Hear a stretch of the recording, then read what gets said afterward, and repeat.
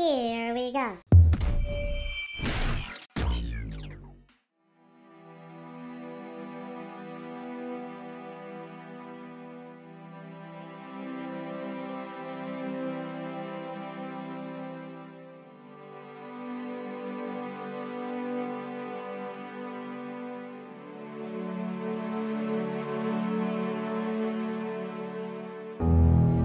Mankind, that word should have new meaning for all of us today. We can't be consumed by our petty differences anymore. We will be united in our common interests. Perhaps it's fate that today is the 4th of July, and you will once again be fighting for our freedom. Not from tyranny, oppression, or persecution but from annihilation. No, sir, just a little anxious to get up there and whoop ET's ass, that's all. We're fighting for our right to live, to exist.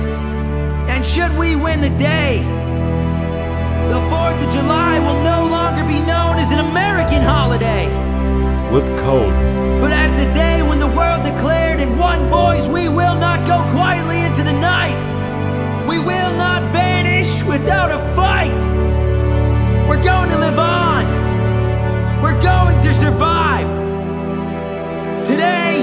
We celebrate our Independence Day.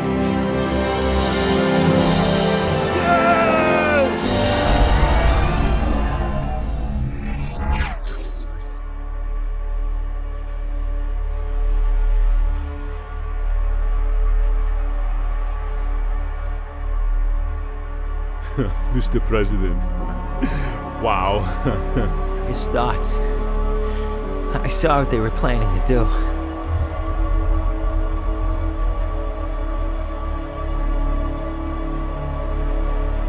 Their whole civilization.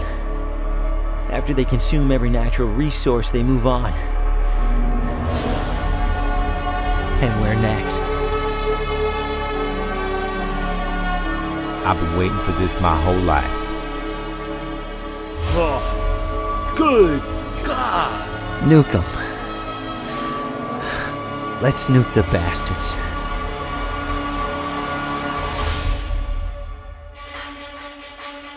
I'm sorry to say, far more advanced.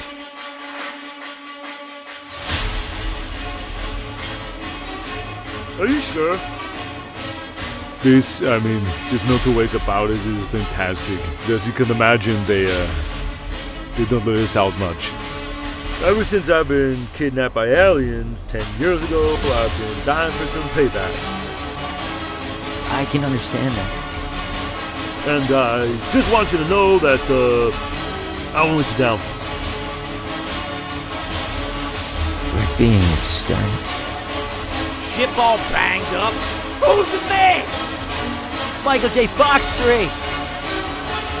All right, you alien assholes! Up yours!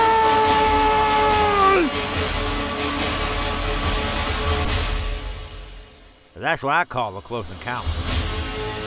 Well, uh, this is like to see the big tamale, huh? Yeah.